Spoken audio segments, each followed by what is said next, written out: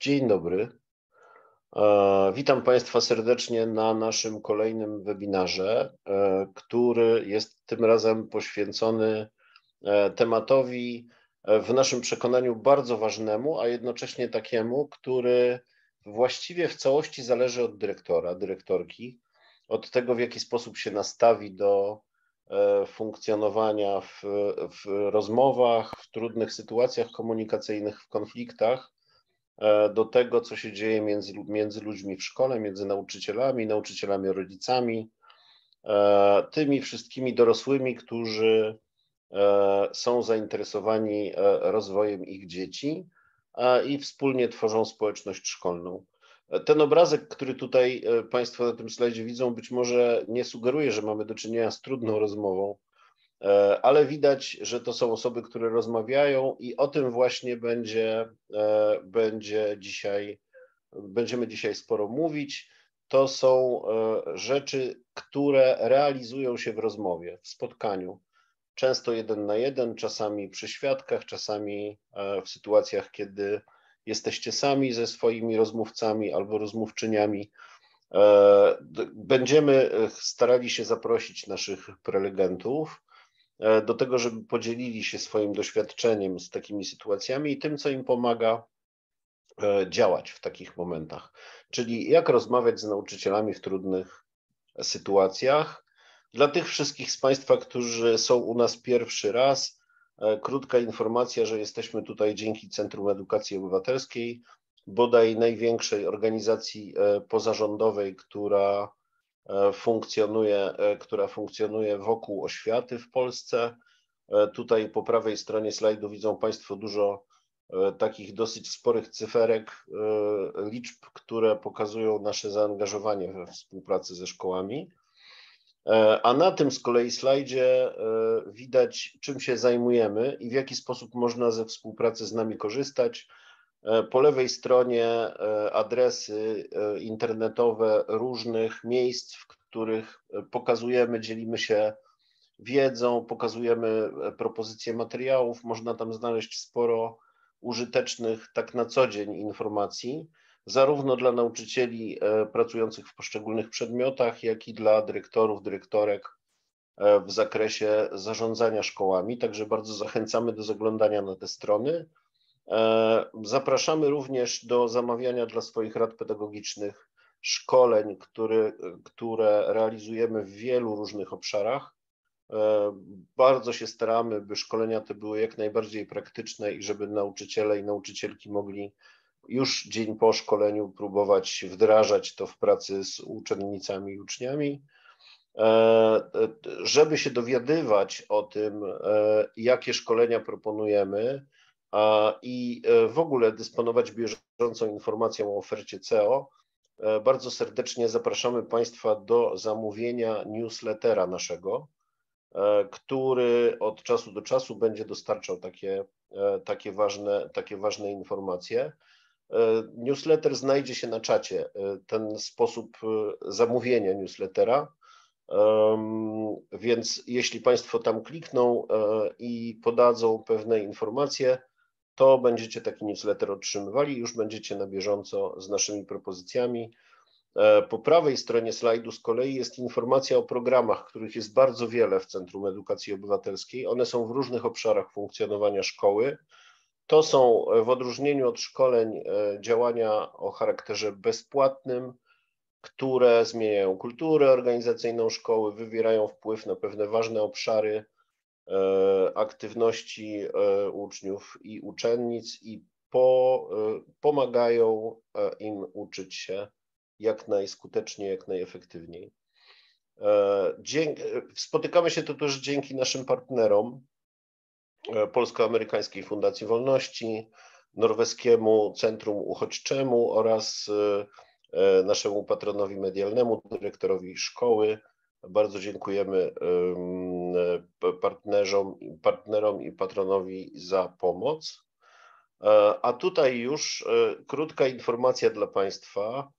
E, chciałbym zaprosić Aleksandrę Kluj, która w CEO odpowiada za organizację studiów podyplomowych liderów oświaty, o powiedzenie dwóch słów na temat obecnej oferty studiów, ponieważ cały czas jeszcze trwa nabór. Jeśli Państwo już to widzieli, to bardzo przepraszamy, ale dla tych wszystkich z Państwa, którzy nie mieli jeszcze tej okazji, proszę Olu, podaj te informacje. Dziękuję bardzo Przemku. Miło mi, jak Przemek wspomniał, jestem koordynatorką studiów podyplomowych liderów oświaty. To jest e, chyba najbardziej wyjątkowe działanie, które w Centrum Edukacji Obywatelskiej kierujemy do dyrektorów i do wicedyrektorów szkół z różnym stażem pracy i, e, i, i różnych poziomów edukacyjnych. Jak Państwo e, widzicie na slajdzie, niewątpliwie bardzo wiele korzyści dyrektorzy i wicedyrektorzy szkół czerpią z obecności na naszych, na naszych studiach.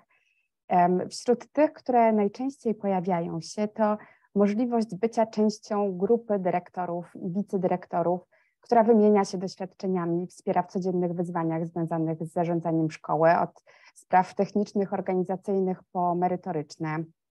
Mm, dyrektorzy zaspokajają potrzeby rozwijania umiejętności zarządzania szkołą i zmianą w tym oporem przed gronem pedagogicznym, e, co zresztą jest tematem dzisiejszego spotkania. Ale dyrektorzy też doskonalą umiejętności czy to prowadzenia skutecznych rozmów z nauczycielami, z, rodzi, e, z rodzicami, e, czy skupienia tego grona wokół wspólnej idei, wartości, misji szkoły. Jakbym mogła poprosić Przemku lub Kasiu o drugi slajd, to będę mogła jeszcze powiedzieć e, krótko o tym, w jaki sposób zorganizowane są nasze studia. Jak Państwo widzicie, pracujemy przez trzy semestry. Pierwszy rozpoczyna się już pod koniec lutego, wtedy zaplanowaliśmy pierwszy zjazd.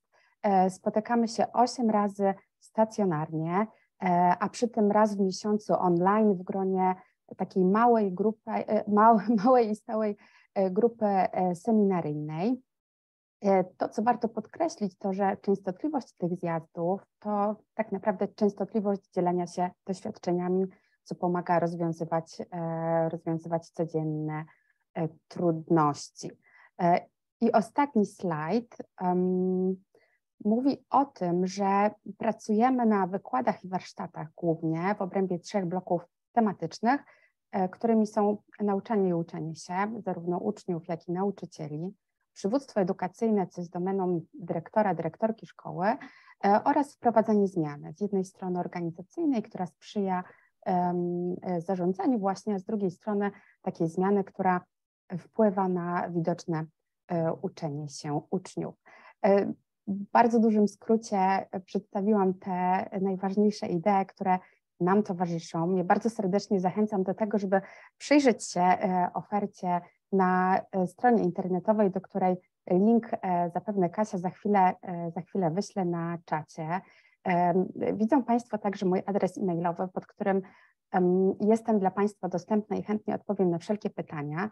To, co jest istotne, w styczniu, prawdopodobnie w jego drugiej połowie, organizujemy spotkanie dla osób, które już się zapiszą. To będzie spotkanie w gronie, w gronie naszej kadry, czyli innych dyrektorów i wicedyrektorów szkół, Mm, także to będzie okazja z jednej strony do, do poznania się wzajemnie, a z drugiej strony do tego, by w taki pogłębiony sposób dowiedzieć się, w jaki sposób pracujemy, jakie wątki e, poruszamy. I mówiąc wprost, będzie to, tak, to także okazja do tego, by w razie czego jeszcze się wycofać. E, zatem mm, raz jeszcze zachęcam do tego, żeby, żeby spróbować e, porozmawiać z nami i, i dopiero wówczas podjąć decyzję. Bardzo, Bardzo dziękuję. dziękuję. Oddaję Przemku Tobie głos. Dziękuję, dziękuję. E, e, dziękuję też Państwu za to, że wysłuchaliście tej informacji, która tylko pozornie nie jest związana z naszym dzisiejszym tematem, dlatego że przynajmniej w tych dwóch obszarach przywództwa edukacyjnego i wprowadzania zmian e, wątek e, komunikacji e, jest wątkiem niezwykle istotnym, podkreślanym i to jest też jeden z takich obszarów, w których absolwenci studium naszego odczuwają sporą zmianę w swoich praktykach dyrektorskich. Zatem, zatem studia też są w temacie trudnych rozmów z nauczycielami, które podejmujemy. Jeszcze jedna informacja organizacyjna, ale tym razem ona dotyczy takiej sprawności przepływu informacji między nami. Udało nam się stworzyć takie narzędzie internetowe pod tym właśnie adresem zapisy co.org.pl. Na czacie też Państwo ten link dostaną to jest taka strona, która umożliwia korzystanie z naszej oferty w uproszczony sposób. E, to znaczy, jak Państwo przychodzą na nasze webinaria czy też seminaria, to musicie się za każdym razem osobno rejestrować w, w odpowiednim formularzu. Ta strona, e, jeśli Państwo stworzą tam dla siebie konto, e, będzie pamiętała te informacje i nie będziecie Państwo musieli za każdym razem wypełniać formularza, tylko będziecie logując się tam widzieli, jakie propozycje ma e, CEO dla e, dyrektorów szkół, a też e, dla nauczycieli. Będziecie Państwo mogli w prosty sposób zarejestrować się, nie wypełniając już tych poszczególnych pól formularza. To jest też format, który pozwala stosunkowo łatwo mieć dostęp do swoich zaświadczeń, jeśli Państwo są takimi E, takimi zaświadczeniami zainteresowani. I to tyle chyba wstępu, a teraz przejdziemy już do tego e, najważniejszego obszaru naszego spotkania, czyli trudnych rozmów. Chciałbym bardzo podziękować naszym prelegentom e, Oli Mikulskiej i Mateuszowi Marciniakowi za to, że zechcieli się podzielić z nami tą tematyką, która w gruncie rzeczy nie jest trywialna. E, często dotyczy spraw, które ludzie przeżywają też jako trudne i my sami przeżywamy jako trudne. E, z drugiej zaś strony wydaje się, że istnieje wiele dobrych praktyk, które pozwalają na to, żeby takie trudne sytuacje rozwiązywać w sposób korzystny dla obu stron, a przede wszystkim z zachowaniem dobrej, konstruktywnej relacji i pewnego dystansu E, do tych problemów, które się pojawiają. E, I tajemnica tych e, sukcesów, jak sądzę, leży w, w rozmowie właśnie, w tym w jaki sposób się do tej rozmowy przygotować, jak, jakich, no może nie tyle słów, ale z jakim nastawieniem ją prowadzić. I dzięki naszym dzisiejszym prelegentom będziemy mogli zobaczyć, jak oni sobie z tym E, z tym radzą. E, Ola Mikulska jest dyrektorką szkoły niepublicznej we Wrocławiu, ale jest dyrektorką szkoły niepublicznej od 2018 e, roku, a wcześniej kilka, kilkanaście lat kierowała szkołą publiczną, dużą, wrocławską. Mateusz z kolei jest dyrektorem szkoły może niewielkiej, za to bardzo prężnej, działającej w gminie Lubin. Miałem przyjemność e, poznać e, też e, niektórych nauczycieli, którzy współpracują z Mateuszem i wydaje mi się, że widać po nich, że Mateusz potrafi w sposób bezpieczny prowadzić trudne rozmowy. Bardzo dziękuję, że przyjęliście, że przyjęliście zaproszenie. A Państwa z kolei bardzo zachęcam do tego, żebyście na naszym czacie dzielili się swoimi doświadczeniami, formułowali pytania.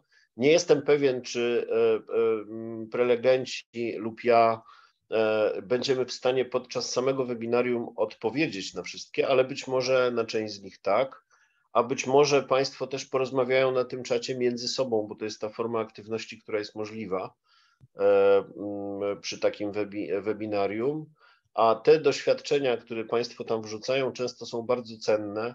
Wielu uczestników mówi, że z tego czatu e, na przykład e, zyskało inspirację do działania w rozmaitych obszarach, więc bardzo zachęcamy do tego, żeby tam nie tylko nam, ale także sobie zadawać pytania i dzielić się swoimi, swoimi dobrymi praktykami. A my zaczynamy. Chciałbym poprosić Was o to, żebyście opowiedzieli trochę o swoich szkołach, ale właśnie w kontekście E, w kontekście tego wątku komunikacji między dorosłymi, którzy w tych szkołach e, są czynni i aktywni. E, chodzi mi o kulturę organizacyjną, najszerzej mówiąc, ale po prostu, bo to słowo brzmi dość, tak bym powiedział, szumnie, a chodzi po prostu o to, co w tych waszych szkołach jest takiego, co waszym zdaniem pozwala rozwiązywać sytuacje konfliktowe, prowadzić trudne rozmowy w sposób bezpieczny e, i prowadzący do sensownych, konstruktywnych rozwiązań i nienadwyrężający relacji. Może zacznę od Oli. E, dziękuję Ci, Przemku. E, ja jeszcze też chciałam, tutaj już napisałam na czacie, też jestem absolwentką studiów podyplomowych liderów oświaty i bardzo dużo tych umiejętności, którymi się teraz posługuję, właśnie tam zdobyłam. E, kultura szkoły to brzmi tak bardzo szumnie i dumnie.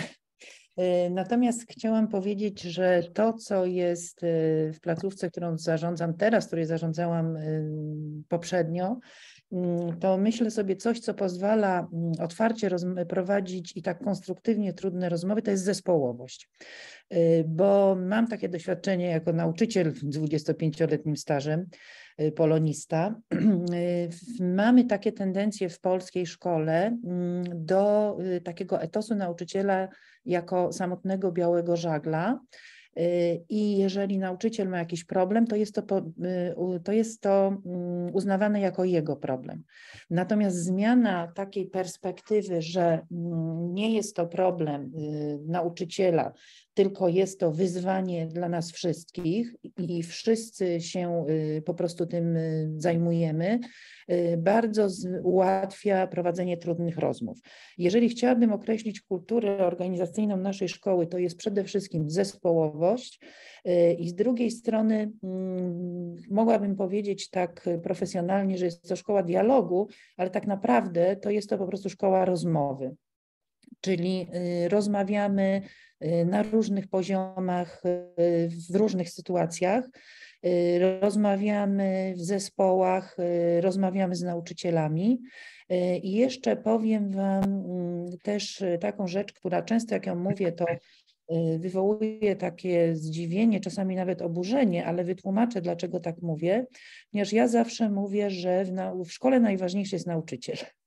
Owszem, szkoła jest dla ucznia, po to powstała, nie po to, żeby nauczyciele mieli gdzie pracować, y, ale nauczyciel, narzędziem pracy y, nauczyciela jest on sam.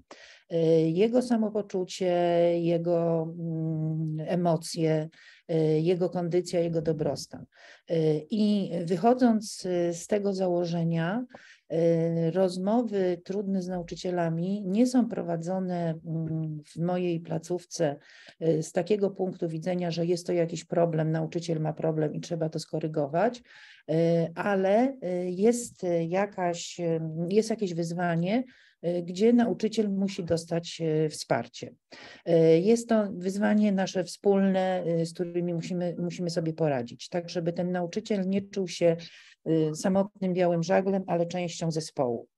Y, I takie ważne rzeczy, y, mogłabym powiedzieć, że jesteśmy też placówką wartości. My się bardzo mocno odnosimy do wartości. Nasze wartości to jest zaufanie, samodzielność, kreatywność, minimalizm i dużo na dworze, mm, ale nie są to tylko wartości, które gdzieś tam mamy oprawione i, i, i wiszą sobie, tylko bardzo często mm, odnosimy się do nich i trochę traktujemy to jako taki drogowskaz, jeżeli nie mam się kogo zapytać, a y, nie wiem, jak postąpić w danej sytuacji, to zastanawiam się w odniesieniu do tych wartości, y, jaka y, wypowiedź, jaka, jakie, jaka decyzja byłaby właściwa.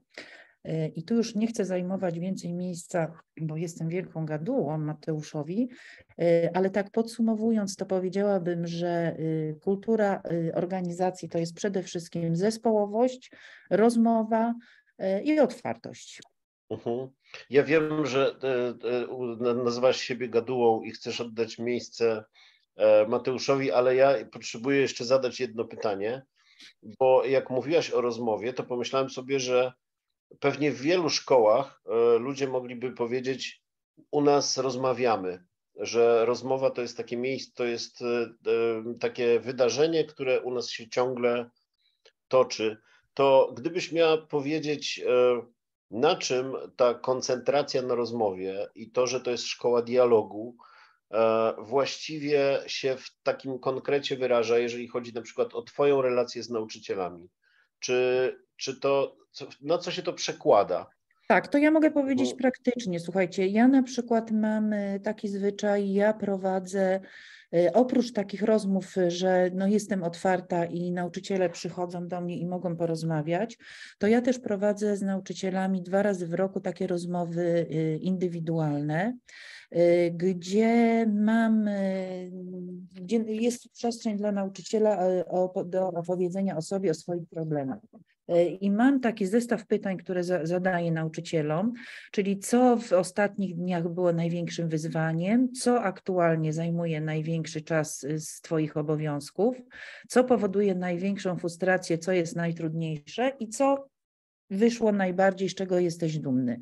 Mm, I nauczy, y, początkowo, jak nauczyciele zaczynają pracować ze mną i przychodzą na te rozmowy, no to troszeczkę się boją, że to jest takie miejsce, że tam mm, dyrektor wezwał na dywanik, będzie rozpytywał. Y, natomiast y, takie danie przestrzeni do wypowiadania swoich takich czasami bolączek, czasami tego, co mnie frustruje. Na tej rozmowie też zawsze pytam, czego nauczyciel ode mnie potrzebuje. Mm, to myślę, że też powoduje, że jest to taka trochę prewencja trudnych rozmów. Uh-huh. Tak, bo jeżeli wiadomo, że ta rozmowa to jest takie nasze główne narzędzie, właśnie nie wiem, y, nie pismo, mm, nie jakieś tam mm, zgłoszenie, że coś się dzieje nie tak, nie zapis w dzienniku elektronicznym, tylko rozmowa, y, to też y, później skutkuje tym, że nauczyciele wiedzą, że z problemami przychodzi się do mnie. I pierwszy, jak nauczyciel zaczyna ze mną pracować, to jest zdziwiony, mówi, a ale co ja tak mam mówić, że coś jest nie tak, będę skarżypytą albo będzie, że się żalę. Natomiast jeśli wprowadzi się tą rozmowę jako takie codzienne narzędzie, y, to rzeczywiście y, naprawdę tych trudnych rozmów, chociaż oczywiście one są, y, mam wrażenie, że jest mniej. Okej, okay. czyli słyszę, że ty jakby starasz się stworzyć przestrzeń, w której to, co trudne, masz szansę się ujawnić, zanim nabrzmieje zanim y, stanie Nie tylko się przestrzeń problemem... Przemku, y, w takim y, kontekście, mm, wiesz, otwartości, ale też taką strukturę. Okej. Okay która pozwala, że jest miejsce na tą rozmowę. Ja tak samo spotykam się z liderami zespołów, mam już określony y, taki schemat tych rozmów. Y, spotykam się, czasami bywam na spotkania zespołów, nie z wszystkich, bo po prostu nie miałabym czasu, ale też tą strukturę prowadzą liderzy zespołów, y, którzy też spotykają się ze swoimi ludźmi. I to jest ustruktury, ustrukturyzowane, nie? Czyli wiadomo, że jest taka przestrzeń w, właśnie w kulturze organizacyjnej szkoły, która jest przeznaczona dla rozmo na rozmowę. E, widzę tutaj pytanie na czasie, kto mnie wspiera. Tak, ciekawe właśnie. Mogę na to odpowiedzieć. E, inni dyrektorzy, my mamy jeszcze od czasów studiów podyplomowych liderów oświaty, grupę dyrektorów, spotykamy się do dzisiaj. Y, ja też uczestniczę w klubie szkół uczących się, gdzie spotykamy się systematycznie z dyrektorami i my dla siebie jesteśmy wsparciem. Y, spotykamy się zdalnie i to jest ten moment, kiedy możemy właśnie siebie nawzajem powspierać. Ja w ogóle mm, bardzo polecam takie grupy wsparcia dyrektorów, bo jak dobrze wiecie, perspektywę dyrektora ma tylko dyrektor. No tak. I jest to trochę samotna perspektywa, ale można ją przekraczać i rozumiem, że e, to, co robisz, jest próbą takiego przekraczania. A propos tego wspierania jeszcze, to e, nie wiem, czy ty to potwierdzisz, ale e, na moje doświadczenie takie szkoleniowe i związane z pracą z różnymi organizacjami, nie tylko szkołami, to mam też takie wrażenie, że jeżeli szefowi albo szefowej uda się stworzyć taki klimat, że ona rzeczywiście rozmawia, to to ma bardzo znaczący wpływ na e, branie odpowiedzialności przez nauczycieli. E, I wtedy e, na to pytanie odpowiedź o to, kto wspiera ciebie, to być może jakąś odpowiedzią jest też to, że twoi nauczyciele, których próbujesz uczyć też, że jakby szkoła jest ich, bo mogą się wypowiedzieć w każdej sprawie. No, szkoła jest, jest naszym wspólnym ciebie? po prostu obszarem, tak? Jest to taka no przestrzeń ja jestem w ogóle za y, właśnie takim przywództwem dzielonym y, i tak jak mówię, dzielę się zarządzaniem właśnie z liderami zespołów. Oni dzielą się z, ze swoimi ze swoimi podopiecznymi. No i słuchajcie, to tak jak w klasie, tak? Jeżeli ludzie czują, że coś jest ich sprawą, że mają możliwość wyboru i możliwość decydowania, no to czują, że rzeczywiście na tym miejscu pracy i na tym, co robimy w szkole im zależy. Chociaż jak każdy kij ma to dwa końce, trzeba się wtedy przygotować, że też się y, słyszy dużo, y, dużo, albo też chętnie ludzie się dzielą i frustracjami, i niezadowoleniami, no i z tymi emocjami też sobie trzeba radzić. Jasne, o emocjach jeszcze będziemy mówić. Dokładnie. E, dziękuję Ci bardzo, Ola. No, Mateusz, przy, przyszedł czas na Ciebie. Co w, cech, w cechach kultury organizacyjnej, jeżeli tak chcesz o tym powiedzieć, albo jakoś inaczej, e, Twojej szkoły jest takim czynnikiem, który sprzyja konstruktywnemu rozwiązywaniu trudnych sytuacji? Myślę, że tutaj takim, dzień dobry Państwu, witam serdecznie przede wszystkim. E, myślę, że tutaj takim kluczowym, e, jednym z kluczowych aspektów jest to, że my na pewno nie jesteśmy dużą placówką. E, w związku z tym, idąc dalej, taka reakcja łańcuchowa trochę, jesteśmy niedużym zespołem, a to z kolei powoduje to, że tych zakłóceń komunikacyjnych jest dużo, dużo mniej. Jest nam też dużo łatwiej docierać do siebie bezpośrednio. To jest na pewno pierwsza sprawa ale to, co dla mnie jest takie kluczowe i istotne i na co ja zwracam bardzo, bardzo mocną uwagę i myślę, że e, przez tyle lat pracując z różnymi zespołami nauczycielskimi udało się to wypracować i to działa, to jest lojalność. E, ja zawsze na pierwszej Radzie Pedagogicznej, kiedy przychodzi wrzesień, spotykamy was w zasadzie jeszcze sierpień, spotykamy się jako zespół, zawsze o tym mówię i o tym przypominam nauczycielom, żebyśmy byli wobec siebie lojalni. E, I to musi działać w dwie strony. Z jednej strony nauczyciele wobec mnie, ale ja sobie nie wyobrażam, że miałoby to też nie działać w drugą stronę, czyli lojalność e, każdego wobec siebie. To na pewno buduje zaufanie. Jeżeli jest zaufanie, to, to też dużo łatwiej się rozmawia i rozmawia się uczciwie, rozmawia się szczerze wtedy. E, I to jest chyba pierwszy taki bardzo ważny aspekt. Dalej, myślę, że też pewien styl zarządzania całym zespołem ja zawsze wychodzę z założenia, że rola dyrektora jest trochę taka, rolą dyrektora jest przede wszystkim właśnie wspieranie, e, pomaganie ludziom, z którymi pracujemy. Mówimy tutaj o tym takim e, przywództwie e, służebnym. Chodzi o to, żeby nauczyciele, z którymi pracuję, mieli możliwość realizowania swoich pomysłów. I to jest chyba coś, co też powoduje mm, utożsamianie się nauczycieli ze szkołą, a jeżeli się utożsamiają, no to tak naprawdę też to będzie się przekładało na to, że, że będą zaangażowani w to, co się dzieje, ale też zaangażowani w rozwiązywanie każdej, e, każdej trudnej, e, trudnej sytuacji, czyli właśnie mm, to wspieranie na zasadzie podpowiadania, mobilizowania ludzi do tego, żeby podejmowali swoje pomysły, swoje działania. E, oni się też dzięki temu raz realizują, ale też zapraszają do, do tych współdziałań. E, idąc dalej,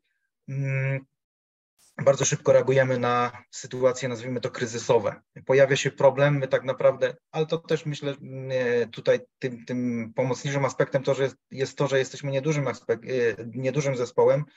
Pojawia się problem, my od razu siadamy, rozma rozmawiamy. Rozmawiamy, yy, analizujemy to tak naprawdę od każdej strony, ale nie mówimy tylko o problemach, bo, bo one oczywiście są, ale z drugiej strony wszelkiego rodzaju sukcesy, czy to sukcesy pojedynczych nauczycieli, czy sukcesy e, całego zespołu, czy sukcesy całej szkoły, o tym też głośno, głośno rozmawiamy i mógłbym powiedzieć, że wręcz świętujemy to, bo to też tak podnosi morale, e, morale w zespole.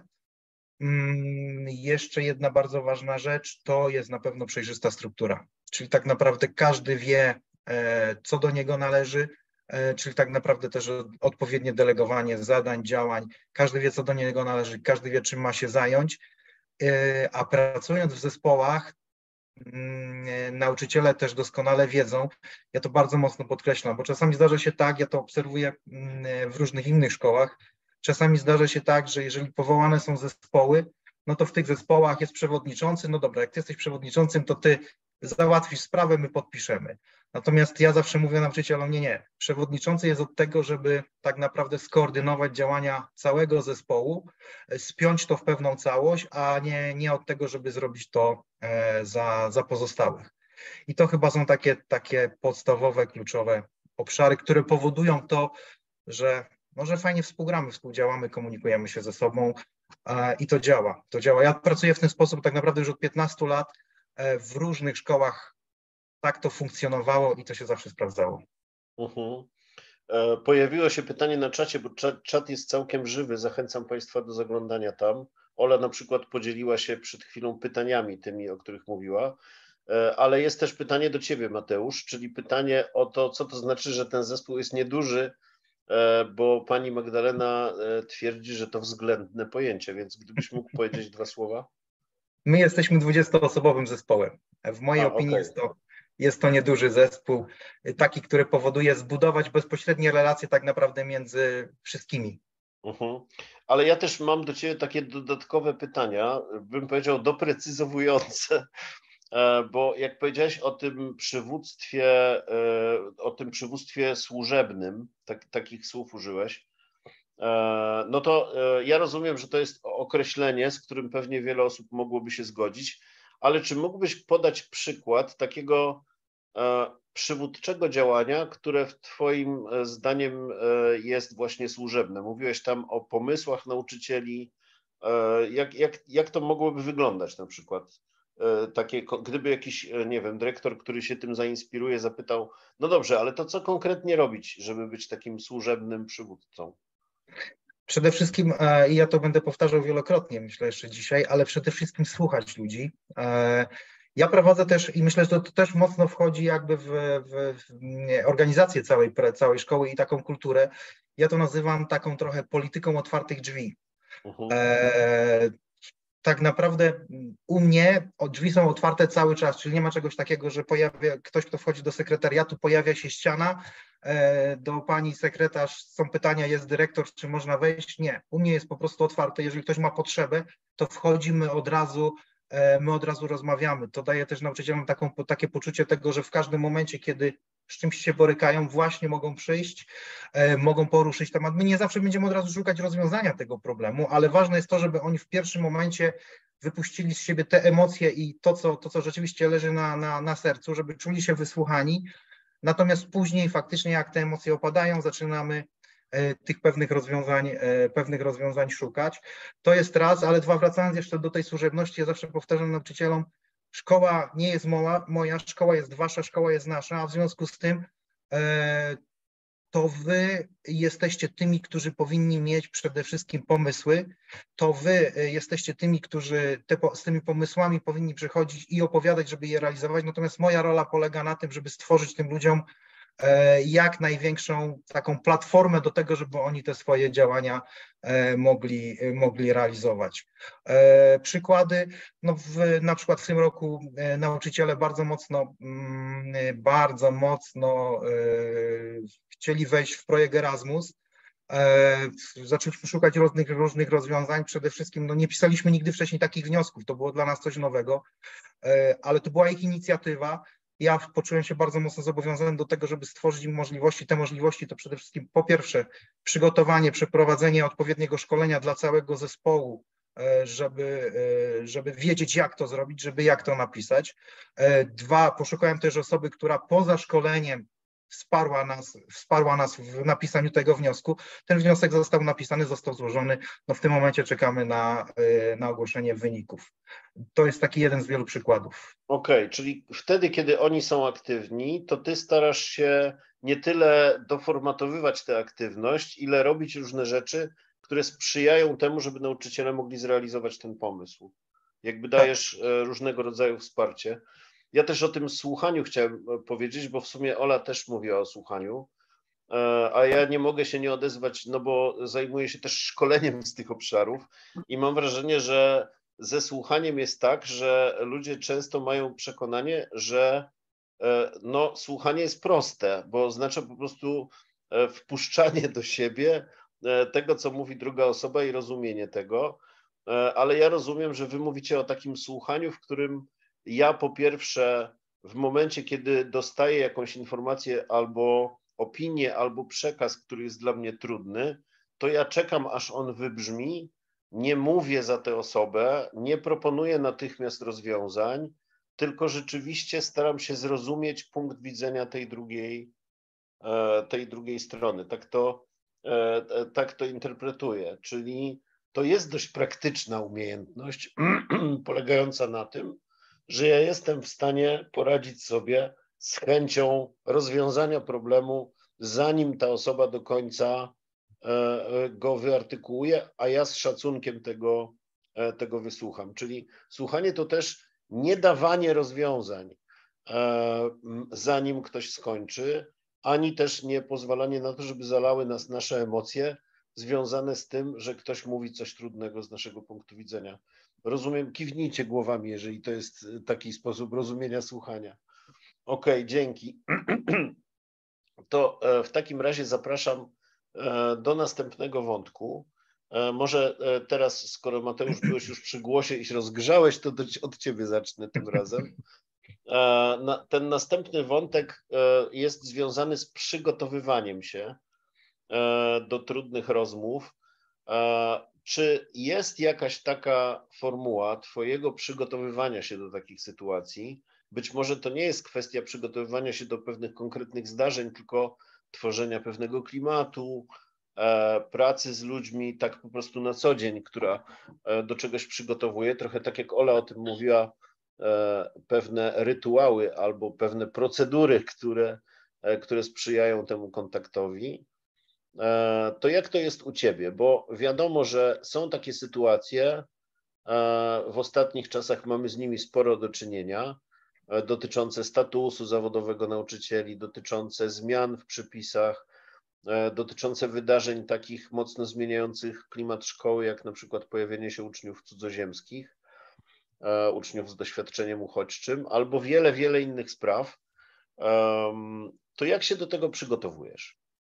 Jak wiesz, że będzie problem, wiesz, że ludzie przyjdą, wiesz, że ludzie będą czegoś potrzebować, a ty prawdopodobnie nie będziesz w stanie zaspokoić ich wszystkich potrzeb. E, mówiąc o przygotowaniu do rozmów, e, tak naprawdę nie chodzi o to tylko o to, żeby przygotować siebie. E, ja wychodzę z założenia, że trzeba przygotować wszystkich do tej rozmowy, a mówiąc o przygotowaniu, tak naprawdę mam na myśli to znowu, ja już o tym mówiłem wcześniej, żeby ludzie, z którymi, z którymi pracuję, wiedzieli, że mogą przyjść i mogą rozmawiać.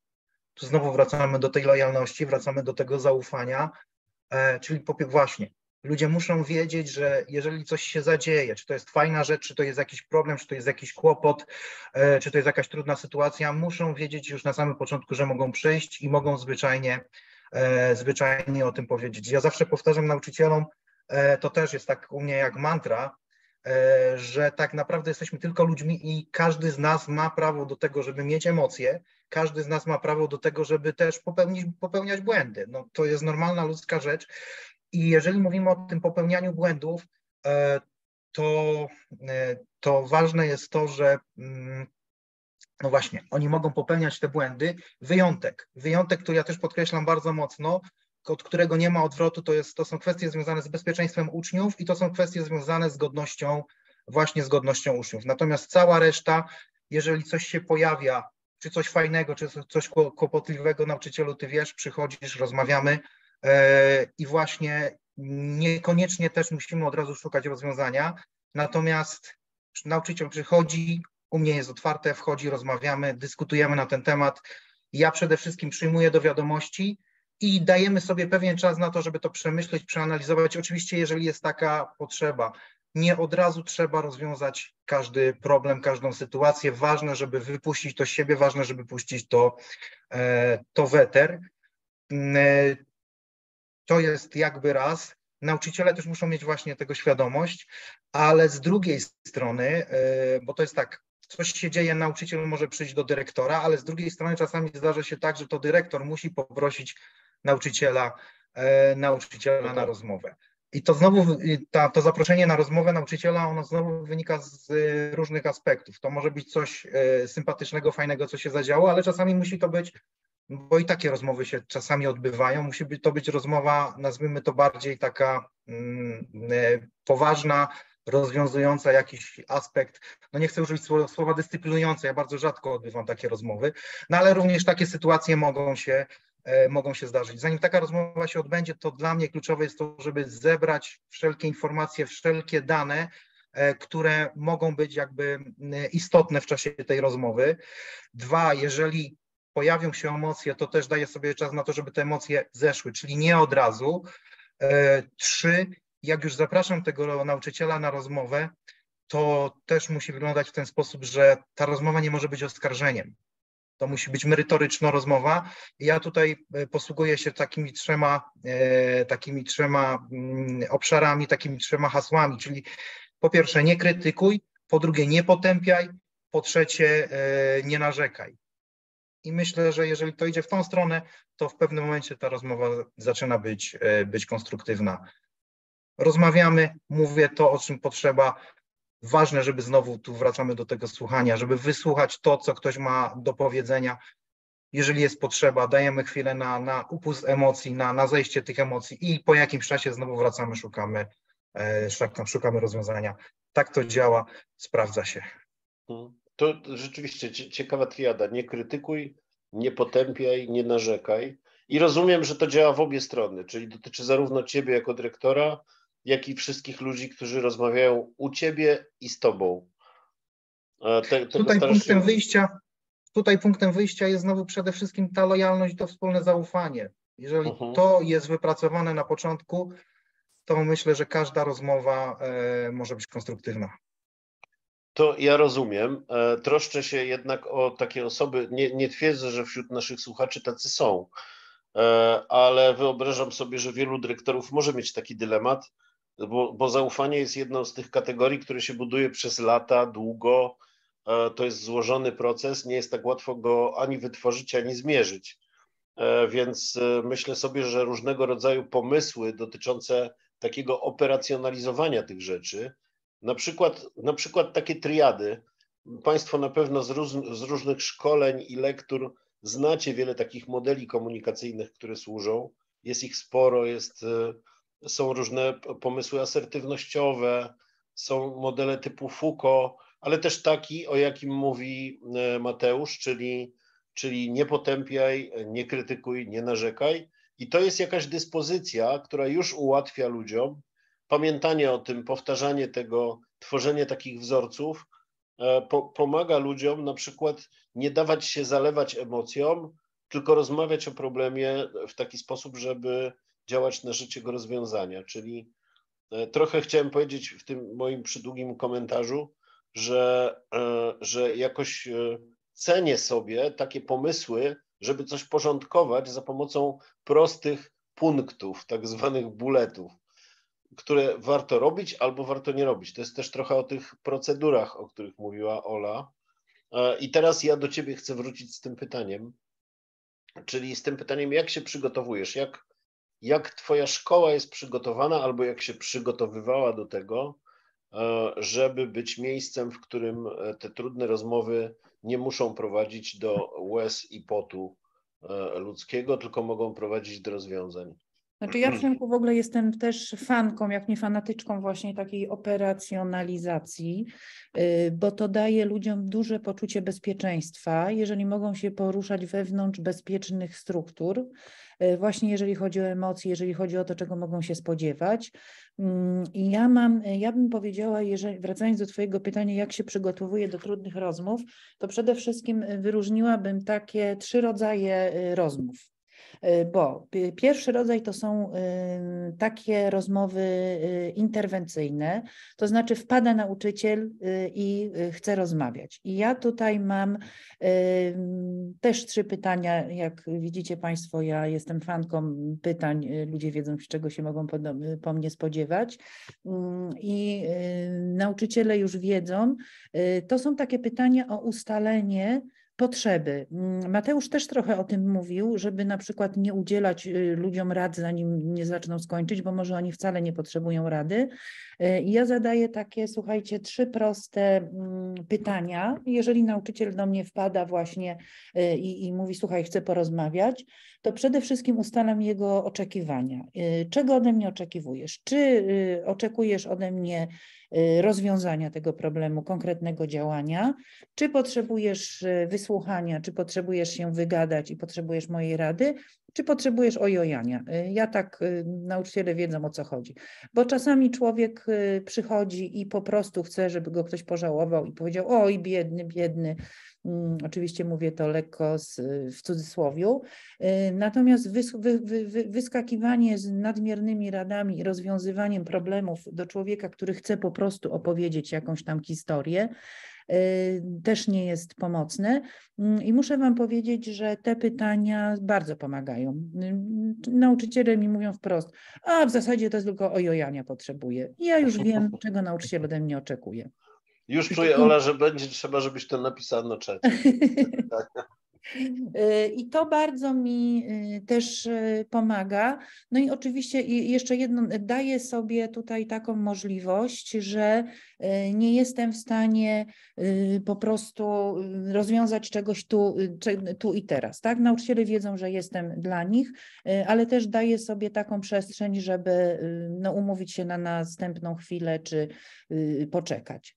E, I to są te rozmowy interwencyjne, kiedy nauczyciel wpada. E, bardzo często właśnie słyszę, że jak ktoś powie, a wiesz co, ja ci tylko chcę opowiedzieć, e, wręcz jeżeli ktoś powie na głos ten swój problem, to mówi, wiesz co, teraz jak to powiedziałem na głos, to ja zrobię tak i tak i tak i tak i wychodzi już sam sobie zrobił rozwiązanie.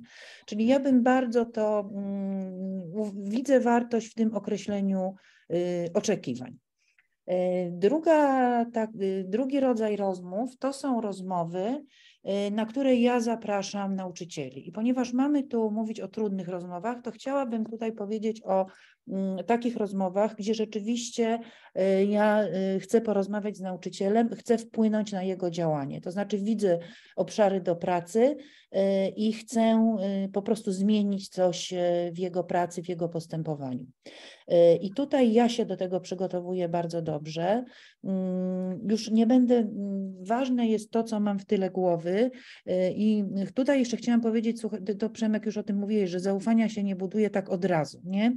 I to nie jest tak łatwo, jak się wprowadza jakąś strukturę czy jakiś y, model działania, że nauczyciele od razu to wchodzą. Y, wprowadza się jak każdą zmianę małymi kroczkami i bardzo trzeba uważać, co się zrobi z tym, co się usłyszało od nauczyciela, zwłaszcza podczas pierwszych rozmów, bo jeżeli nauczyciele się przekonają, że jeżeli, nie wiem, przyszedł do mnie po ojojanie, mm, to ja nie wiem, nie wyciągam z tego konsekwencji, jakiejś burzy nie robię, nie wiadomo czego, można mi rzeczywiście wszystko powiedzieć, mogę też udzielić rady, ale też jeżeli ja zapraszam nauczyciela, bo widzę jakiś obszar do zmiany, y, to bardzo ważne jest takie nastawienie, że nie zapraszam cię tu na dywanik i mówiłam często, jak nauczyciel zaczyna ze mną pracować, to jak przychodzi pierwszy raz na taką rozmowę, to myśli, Boże, po tej rozmowie mówi, a ja myślałam, że już mnie zwolnisz, albo że to jest dywanik. Y, I to zdziwienie, że ja podchodzę do tego, że mamy wspólny obszar, bądź też wprost nazywam, mamy wspólny problem. Y, I takie podejście, że jestem tutaj po to, byśmy razem ten problem rozwiązali. Czyli nie zrzucam na nauczyciela, ty masz to zrobić, tutaj źle robisz, ja ci tu zaraz dam mm, różne mm, cenne wskazówki, tylko że jesteśmy tutaj po to, żeby wymyślić strategię, jak rozwiązać ten problem. I ja się do tego przygotowuję. To jest nic nowego. Porozumienie bez przemocy na pewno znacie. Ja też korzystam z Vivienne Robinson, mm, rozmowy skierowane na y, uczenie się, ale tak naprawdę schemat jest jeden, czyli przedstawienie faktów, czyli co się stało, y, dlaczego mnie to niepokoi, albo dlaczego uważam, że tym faktom musimy się przyjrzeć daje przestrzeń nauczycielowi, żeby się y, wypowiedział, jak on widzi, czy się zgadza z tymi faktami, czy ma jeszcze coś do, mm, do dodania. Później sformułowanie problemu, które to, co się wydarzyło, Y, prokuruje, bo na przykład nauczyciel może sobie nie zdawać sprawy, że mm, jego taka reakcja czy inne działanie jest problemem i dlaczego jest tym problemem, jak to działa na całą strukturę szkoły, jak to działa na organizację, mm, taki szerszy kontekst? Y, i później wspólne i to jest ważne, wspólne zastanowienie się, co możemy zrobić, y, co możemy, mm, jaką, jaki możemy ułożyć plan działania, y, żeby ten problem rozwiązać. I tutaj zawsze daję siebie jako takie wsparcie, pomoc. Bardzo często, jeżeli jest, chodzi o mm, jakieś problemy merytoryczne, czy w klasie, czy w kontaktach z rodzicami, to ważne jest, że ja po prostu no, powiem, mówiąc kolokwialnie, żeby dyrektor zakasał rękawy y, i zabrał się do pracy razem z tym nauczycielem y, i umawiamy się. Też pytam nauczyciela, czy to jest dla niego ok, mm, czy wszystkie te punkty planu, które wymyśliliśmy, które ja poddaję, y, są dla niego do przeżycia.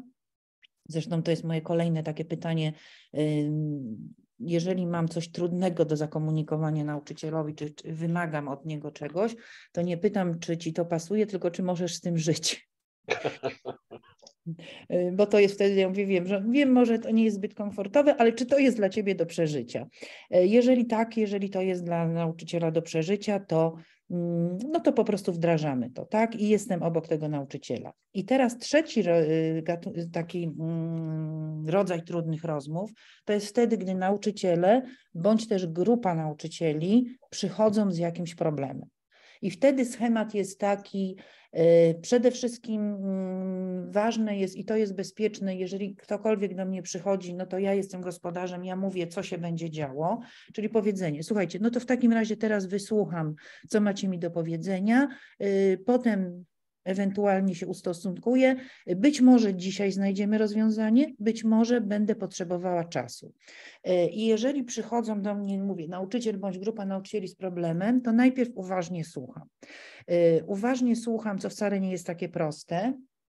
E, I potem, jak już y, uważnie dam się nauczycielowi wygadać bez właśnie, nie wiem, zbędnych, bez za dużych, y, y, bez zbyt wielu pytań, mm, to staram się y, wyłonić fakty. Czyli czy ja zrozumiałam, co się wydarzyło, tak? Ustalamy, czyli stało się to, to, to i to, i zaraz po tym wy, mm, wyłaniam, y, pytam nauczyciela czy grupy y, o ich uczucia. To znaczy nie pytam, ach, co czujesz w tej chwili, tylko tak mówiąc w skrócie, y, jak ty się z tym czujesz, daję konkretne przykłady. To jest NVC, co ci to robi po prostu.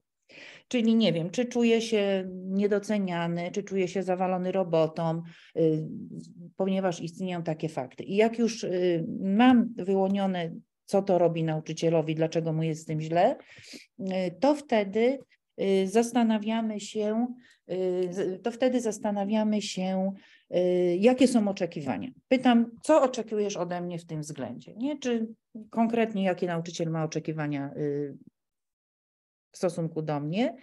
I teraz już w zależności, jeżeli jest to coś, co mogę teraz wyjaśnić, powiedzieć, to rozwiązujemy to razem.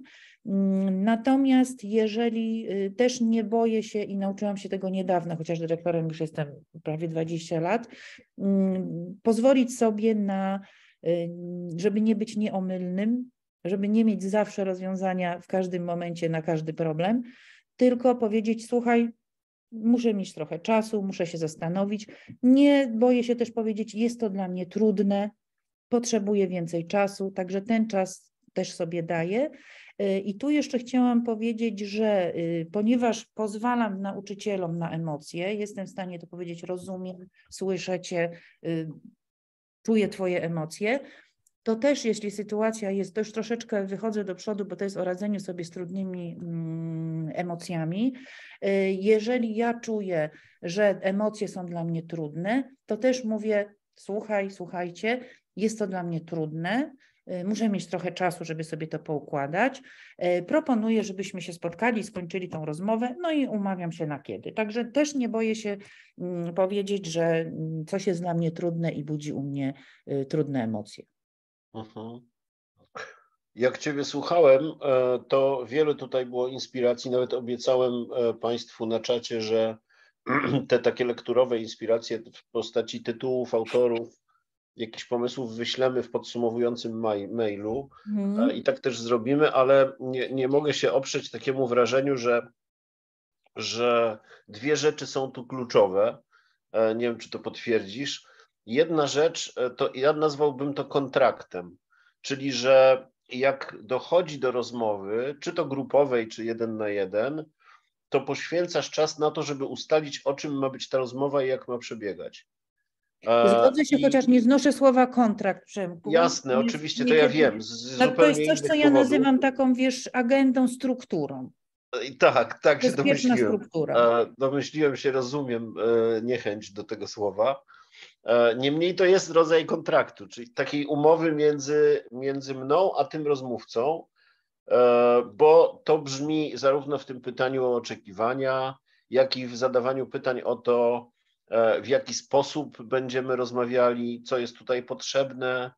E, I e, to poświęcenie uwagi na ten moment, w którym ja nie tyle rozmawiam o tym, z czym ktoś przychodzi, ale rozmawiam o tym, jak będę rozmawiał i o czym właściwie rozmawiamy tak naprawdę, jest chyba ważnym elementem rozładowywania wielu trudności, które pojawiają się w głowach rozmówców, jeżeli oni temu nie poświęcą uwagi.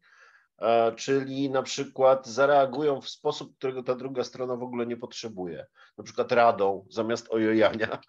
E, mm, I jeszcze, a właśnie, dobrze, że mówię o ojojaniu, bo chciałem też podkreślić, że istotną sprawą jest to, żeby pamiętać, że to ojojanie jest ważną ludzką potrzebą i niezależnie od tego, jak bardzo je e, nazywamy bajkowo, e, to e, często jest tak, że ogromny deficyt ludzie przeżywają związany z tym, że po prostu nie mogą się wygadać i czasami tego potrzebują, a to jest dla nich trudne. I, i zdecydowanie to ojojanie jest absolutnie godną szacunku, godnym szacunku wsparciem. E, ja rozumiem, że wy to tak sobie nazwaliście w takim swoim, e, jakby zrozumiałym w grupie języku, e, natomiast chodzi rzeczywiście o taki rodzaj otwartości na to, że drugi człowiek czegoś doświadcza i niekoniecznie chce z tym, chce rady, bo na przykład wie, że nikt tego, nikt mu nie poradzi, ale chce to ujawnić, wyjąć z siebie i to zmniejsza napięcie. E, I druga rzecz, e, też fundamentalna moim zdaniem, bo to w paru momentach brzmiało, takie schodzenie z pomnika, czyli e, to, co mówiłaś na przykład o tym, że to jest dla mnie trudne, albo potrzebuję czasu, żeby się nad tym zastanowić, albo to jest wyzwanie i potrzebuję wsparcia. To, to czasami osobom pełniącym różne zarządcze funkcje ciężko przechodzi przez gardło, a przecież jest jak najbardziej na miejscu bo to, e, że my jesteśmy e, akurat takimi osobami, nie oznacza, że mamy być absolutnie sprawczy i wszyscy dookoła to rozumieją, a czasami potrzebujemy jednak z jakiegoś powodu, nie wiem, być może w trosce autorytet, sprawiać wrażenie, jakbyśmy wszystko natychmiast rozwiązywali, a nie jest to wcale takie, takie konieczne i ludzie dokładnie rozumieją, że tak jest a jeżeli dyrektor udaje, że tak robi, to, to inni wiedzą, że udaje, e, jeżeli, jeżeli tego w żaden sposób nie sygnalizuje. To tak na marginesie. Bardzo A poza tym dodam jeszcze, Przemku, coś dla mnie bardzo istotnego. Jeżeli ty wychodzisz, rozwiązujesz wszystkie problemy swoich nauczycieli, to trochę to nie jest prze, przejaw szacunku do nich, zaufania i też odbiera się im sprawczość i samodzielność. Dokładnie tak samo działa, jeżeli y, traktujemy naszych uczniów w ten sposób, że chcemy im rozwiązać wszystkie problemy. Uh-huh. No właśnie. I oni wtedy z jednej strony niczego się nie uczą, a z drugiej strony czują się całkowicie pozbawieni odpowiedzialności, no bo jest instancja, która to robi, tak. I u, uczą się pozycji osoby, która ma uniknąć, e, nie wiem, kary, nagany, a nie wziąć odpowiedzialność za coś. No dobrze, bo ja, ja też mam skłonność do wielosłowia, a mam jeszcze przynajmniej dwa wątki, e, moim zdaniem istotne. E, to e, też e, Ola, w tym rozgrzaniu poproszę Ciebie. Mamy wątek konfliktu. Trochę już o tym powiedziałaś. Mariusz, Mateusz zresztą też, ale mam wrażenie, że w radach pedagogicznych albo między rodzicami, albo między rodzicami a nauczycielami, albo w jakichś innych konfiguracjach, których teraz nie umiem sobie wyobrazić, dochodzi do sytuacji konfliktowych, które są naturalne, no bo ludzie mają różne interesy, różnych rzeczy potrzebują. A ja bym tak specyficznie chciał do Was się zwrócić i najpierw do Oli z pytaniem o to, jak widzicie swoją rolę w takiej sytuacji, kiedy między nauczycielami pojawia się konflikt. Bo ja mogę sobie wyobrazić takie dwie skrajne postawy dyrektorskie. Jedna postawa to jest taka: są dorośli, niech się dogadają. To jest jedna skrajność. A druga skrajność to jest właśnie takie mamusiowanie, czyli e, kiedy widzę konflikt, to biegnę tam e, i próbuję doprowadzić do tego, żeby ludzie znaleźli szybko jakieś wyjście i podali sobie ręce. E, to ja rozumiem, że wasza, wasz pomysł będzie gdzieś pomiędzy tymi, tymi skrajnościami i pewnie będzie racjonalny, skoro szkoły dobrze funkcjonują. Jak to jest u ciebie, Ola?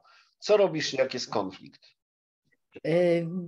Ja od, od, przede wszystkim od razu reaguję i powiem coś, co znowu tak trochę przewrotnie zabrzmi. Nie zezwalam na konflikty w Radzie Pedagogicznej. Ja zaraz to wytłumaczę. Okay. Powiem Wam tak, ja bardzo dużo mm, poświęcam w ogóle w naszej e, szkole e, właśnie tej kulturze mm, pracy i tego, że zasady, wartości dotyczą wszystkich, e, małych ludzików i dużych ludzików, jak to mówię. I teraz, kochani, jeżeli my chcemy mm, uczyć naszych uczniów tego, że y, mają się ze sobą nie kłócić i mają y, po prostu żyć dobrze ze sobą w klasie, mm, to y, jak wiadomo, stare przysłowie pszczół mówi, uczy się przez przykład, nie przez wykład. My, jako nauczyciele, nie możemy sobie pozwalać na nierozwiązywanie konfliktów y, i y, bardzo dużo o tym mówię, że y, tak jak dzieciom w klasie, słuchajcie, mówimy, mm, że nie musimy się kochać i, i, i chodzić ze sobą na lody, czy jeżeli jesteśmy nauczycielami, to na piwo bądź wino, ale ja jestem za profesjonalizacją zawodu nauczyciela. Profesjonalista jest w stanie funkcjonować ze swoimi współpracownikami tak, żeby nie dochodziło do konfliktów w miejscu pracy, czyli w szkole. Ja o tym bardzo dużo mówię. Ja też szkolę nauczycieli z tego, a jeżeli taki konflikt, konflikt widzę, to muszę przyznać, że mm, ja jestem y, bardzo mm, konsekwentna i powiem czasami okrutna w wyciąganiu wszystkiego, y, to znaczy nie ma zamiatania pod stół, czyli nie ma czegoś takiego, że Mm, coś tam się przyklepie, czy, czy udawajmy, że wszystko jest w porządku. Y, I teraz w zależności od jak silny jest to konflikt, ja występuję w roli mediatora. To znaczy, jeżeli zauważam, że taki konflikt jest, a, a, a jestem blisko z moją radą i to widać, y, ja natychmiast y, po prostu reaguję i występuję w roli mediatora, bardzo podobnie są mediacje rówieśnicze dla dzieci, to też y, prowadzę mediacje rówieśnicze dla dorosłych. Y, I tutaj słuchajcie, przy konflikcie, no to to jest też no, taki no, no, typ rozmowy takiej, którą ja prowadzę, no to jest przede wszystkim wysłuchanie obu stron i też z NVC, no jakie są fakty, mm, co mi to robi, dlaczego mi to robi, co możemy zrobić, żebyśmy mogli z tym żyć y, i żeby to nam nie przeszkadzało y, funkcjonować jako zespół w miejscu pracy. I tu bardzo właśnie to podkreślam. Nie, nie przechodzę do porządku dziennego, bo usłyszałam kiedyś od jednego z moich y, współpracowników, że a nie muszę tu wszystkich wcale lubić, ani nikt mnie nie musi lubić. Więc mówię nie, właśnie musimy się lubić. Nie musimy się kochać, ale lubienie, które mm, bardziej rozumiem jako taki właśnie szacunek w miejscu pracy i wspieranie się, no nie będziemy wspierającym się zespołem, y, jeśli pozwolimy, żeby y, konflikty mm, wpływały na to, jak działamy, jak pracujemy. Także ja w sytuacjach y, konfliktów zawsze prowadzę Mm, takie spotkania mediacyjne, y, tak żeby y, pomóc nauczycielom y, osiągnąć konsensus i takie rzeczy, taki stan rzeczy, że pozwoli im to żyć ze sobą i no, współpracować w Radzie. Mhm. E, zwróciłem uwagę na to, co że powiedziałeś, że szkolisz nauczycieli. Tak. E, no bo to też ta umiejętność rozwiązywania konfliktów bez e, pozwolenia na to, żeby zalewały nas emocje i bez okopywania się na swoich pozycjach, co się często ludziom zdarza i wcale nie jest na to lekarstwem rozsądek, to jest pewna kompetencja i rozumiem, że, że, że starasz się tego uczyć, oprócz tego, że też tworzysz pewien wzór mediacji. Tak to zrozumiałem. Tak, dokładnie okay. tak. I po prostu mam szkolenia z, z case studies, z odgrywaniem scenek. Jeżeli są potrzebne, raz na jakiś czas, ja po prostu no, dbam o tą umiejętność, bo to wcale nie jest proste. Mhm. No właśnie, i przy tym praca z konfliktem e, bardzo często jest wyzwaniem e, takim stricte pedagogicznym, czyli reagowaniem na sytuację konfliktu w klasie. E, I rzeczywiście cały czas mi się przy takich okazjach przypomina Aleksander Pawlicki, który powiedział takie zdanie, i on je za, za kimś cytował, tylko nie wiem za kim, że nie ma w pokoju nauczycielskim czegoś, czego nie byłoby w klasie i odwrotnie nie ma w klasie czegoś, czego nie byłoby w pokoju nauczycielskim. I rzeczywiście wydaje się, że jeżeli nauczyciele nie są w stanie, bo nie mają wzorca albo nikt im nie pomógł e, rozwiązywać konfliktów między sobą, to nie będą też umieli rozwiązywać konfliktów w klasie i będą stosowali jedną z tych strategii, o których mówiłem na początku. Czyli albo ja biorę odpowiedzialność na siebie za to i ustawiam e, osoby w konflikcie i z, e, zmuszam je do tego, żeby podały sobie ręce, albo ignoruję i czekam na to, aż sprawa się sama, e, sama wyjaśni. Okej, okay. Mateusz, jak u ciebie? E, mała rada, ale konflikty pewnie też bywają. Znaczy, ja uważam, że mm, konflikt jest trochę jak stres, nie, nie, nieodzowną częścią naszego życia. I tak no naprawdę no tam gdzie, dwie, tam, gdzie trzy osoby, tam e, z reguły pojawiają się dwie różne opinie, co najmniej dwie różne opinie, więc nie da się konfliktu, może inaczej. E, nie ma takiej sytuacji, kiedy konfliktu mogłoby nie być, jeżeli mówimy o Radzie Pedagogicznej, bo te konflikty się zdarzają, e, one są. E, ja tutaj, jeżeli chodzi o sam schemat działania, jest bardzo podobny do tego, e, o czym mówiła Ola, więc ja nie będę powtarzał. Natomiast, natomiast mówiąc o, o, o konfliktach i o sytuacjach konfliktowych, ja troszeczkę myślę troszeczkę inaczej. To nie chodzi o to, żebyśmy my się wszyscy lubili, natomiast chodzi o to, żebyśmy mimo wszystko budowali ze sobą relacje, a jeżeli pojawia się konflikt, to jak się go dobrze poprowadzi, to ten konflikt może tak naprawdę mieć konstruktywne przełożenie na co, to, co się będzie później działo, czy to w szkole, w placówce, czy, e, czy w samym zespole. Jeżeli pojawia się sytuacja konfliktowa, ja przede wszystkim, e, podobnie jak Ola, staram się wysłuchać ludzi, e, staram się też tro, trochę mediować, ale co ważne, pozwalam każdemu z nich tak naprawdę wypowiedzieć się. Jest taki moment, w którym ja stojąc między nimi, trochę się przysługuje. Doprowadzam do pewnej konfrontacji i oni zaczynają, czy to, jest, czy, to jest, czy to są dwie osoby, czy to jest cała rada, a w radzie, w zespole ta rozmowa, ta dyskusja potrafi tak naprawdę e, być dużo szersza, więcej osób jest się wtedy w stanie wypowiedzieć.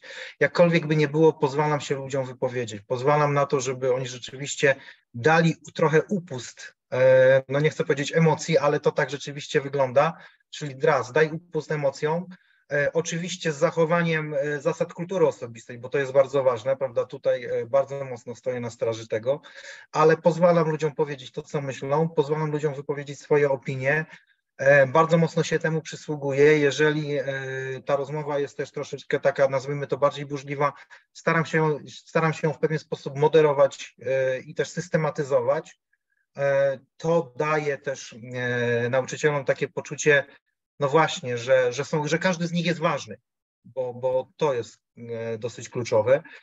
I w momencie, kiedy oni tak naprawdę powiedzą wszystko, co mają do powiedzenia, dopiero wtedy e, szukam pewnych wspólnych mianowników, e, szukam pewnych kompromisów i też mm, próbuję trochę na zasadzie burzy mózgów wyprowadzić tą rozmowę, tą dyskusję nauczycieli E, do tego, żeby znaleźć jakby jeden wspólny, e, wspólny kierunek. Z reguły to się udaje, mm, natomiast jeżeli gdzieś tam w pewnym momencie ciężko jest znaleźć to, to wspólne rozwiązanie, wtedy staram się też przejąć inicjatywę i w oparciu o to, co słyszę, e, staram się zaproponować pewne jakieś rozwiązanie, ale to jest, cytując klasyka, taka ostateczna ostateczność pierwszej kolejności dąży do tego, żeby ludzie rzeczywiście wypowiedzieli się, pozwolili troszeczkę, pozwalam trochę wypuścić te swoje emocje, no i ostatecznie, żeby wspólnie na zasadzie burzy mózgów szukali, szukali rozwiązania. Uważam, że konflikt dobrze poprowadzony, a uważam, że jest nie, nieunikniony, dobrze poprowadzony może być tak naprawdę konstruktywny. Mhm. Okej, okay. to co łączy Wasze wypowiedzi, tak przynajmniej mi się wydaje, e, to jest e, trochę niedopuszczanie do powstawania tak zwanych trupów w szafie. Przepraszam za to nieeleganckie określenie, ale mam wrażenie, że oboje mówicie o tym, że niezależnie od pewnych różnic w akcentach, to jednak nie pozwalacie na to, żeby w sytuacji konfliktowej, którą oboje uważacie za naturalną w jakiś sposób, chociaż Ola powiedziała, że nie zezwala, ale ja, ja rozumiem, to nie zezwala raczej e, tak, że nie zezwala na to, żeby on eskalował do takiego poziomu, w którym nie działają już e, żadne narzędzia racjonalne, tylko emocje same w sobie. Czy konkretnie chodzi o to, słuchajcie, że ja nie zezwalam na takie sytuacje, że ktoś, nie wiem, długotrwale ja nie będę z Bożenką w jednym zespole, bo Bożenki tak. nie lubię, albo nie no zrobimy jakiegoś działania, y, bo ja z nią nie chcę. No, no ale to, o czym mówisz, Ola, to jest tak naprawdę to zachowanie tych relacji, prawda, mimo wszystko. One muszą, muszą być. Tak, że ludzie, e, no rzeczywiście, ale to jest ważny aspekt, ja o tym nie pomyślałem, a może warto to podkreślić, że... Raczej czego e... potrzebuje od Bożenki, żeby móc z nią pracować razem w zespole? I co ja dokładnie, mogę dać? Dokładnie, e, a versus takie oczekiwanie, które czasem się zdarza, że no właśnie, musimy wszystkie nasze problemy wyczyścić, żeby w ogóle móc współpracować, profesjonalizm e, rozumiem tutaj tak, że profesjonalizm polega na tym, że nawet jeżeli one są, to potrafię współpracować i z tymi trupami w szafie jakoś pracuję. Albo na przykład godzę się z tym, że one są e, i no i trudno, ale jakby obie strony potrafią kooperować, mimo że gdzieś tam coś niezbyt pięknie w tej szafie pachnie. Ale, ale myślę sobie, że taki ideał to jest właśnie, żeby tych trupów nie było Raczej trupy bym tutaj się, się upierała, rozmawiać. że trupy z szafy trzeba Wyjąć. usuwać. Mhm. E, a usuwa się je w taki sposób, że nie zaprzecza się ich istnieniu, tylko się nazywa o co chodzi, bo tak naprawdę to nie jest trup żaden, tylko różnica interesów po prostu. Trzeba po prostu je dobrze obejrzeć. dobrze obejrzeć, sprawdzić o co nam chodzi już chcę wyjść z tej metafory, bo gdzieś generalnie, generalnie chodzi o tą różnicę interesów, o której zawsze można gadać. E, albo można się pogodzić, że tak jak na przykład w wypadku wartości, e, że mamy różnie, ale no trudno, mamy różnie, ale kooperujemy, współpracujemy, dajemy sobie wsparcie. E, no bo też wyobrażam sobie takie sytuacje, nie jestem aż skrajnie idealistą, że na przykład są różnice wartości, których nie da się zasypać ale można przyjąć do wiadomości, że one są, a mimo to e, współpracować. E, I to, to jest jakoś dla mnie, e, dla mnie ważne. Czas nam mija nieubłaganie, a ja jeszcze potrzebuję przynajmniej jeden wątek i jedno podsumowanie tu zmieścić, więc chcę Was poprosić teraz i w ogóle nie wiem kogo, bo po prostu i kto będzie miał na końcu języka zdanie, to niech się odezwie ostatni wątek, który się przewijał przez całe spotkanie, a moim zdaniem e, jest takim wątkiem, o którym się mało rozmawia, albo rozmawia w taki, bym powiedział, nieśmiały sposób w szkole, bo cały czas mówiliśmy e, i przy tych trudnych rozmowach e, z grupą, pomiędzy nauczycielami, ale, ale też w relacji między nami a nauczycielami, o emocjach, i o tym, że one mają wpływ na to, w jaki sposób ludzie funkcjonują. I myślę, że my, y, nie wiem czy wy, ale ja na pewno wychowany jeszcze w takim paradygmacie, bym powiedział, bardzo klasycznym, e, edukacyjnym, no to e, mam pewną taką naturalną skłonność do udawania, że nie czuję czyli e, i też do zachęcania innych ludzi, e, żeby powściągali te emocje e, i je jakoś chowali. I mam wrażenie, że my tak w ogóle generalnie społecznie nie bardzo sobie radzimy z tym, że jesteśmy istotami emocjonalnymi. To znaczy, że czujemy złość, że czujemy smutek, że czujemy strach, że czujemy radość. I jakoś tak próbujemy nad tym przejść do porządku dziennego, żeby to nam nie przeszkadzało. A te emocje funkcjonują. One właśnie na przykład odpowiadają za to, że ludzie pozornie racjonalnie myślący zachowują się nieracjonalnie. Każdy z nas ma takie doświadczenie zrobienia czegoś, czego potem żałowaliśmy, albo właśnie intuicyjnego zrobienia czegoś, co było najlepszym wyjściem, a nie byliśmy w stanie wymyśleć e, takiego rozwiązania.